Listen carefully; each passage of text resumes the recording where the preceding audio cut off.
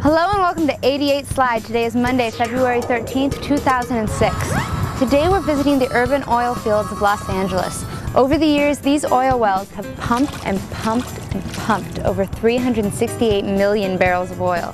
My question for you today is, according to the Department of Energy, which state is the second largest producer of oil behind Texas?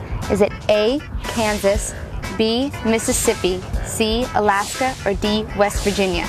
Email or text message me your name, city, and answer by 9 p.m. Pacific Standard Time tonight, and we'll randomly select one correct entry to win a $10 iTunes gift card. Now on Friday we asked you how many times Italy has hosted the Summer Olympics, and the correct response is B, one in 1960. And therefore, the three-disc DVD set documentary about the Olympics goes to the randomly selected correct entry from Karen Zambo, Norwalk, Connecticut, yo. Thanks, Blaine. I'll see you guys tomorrow.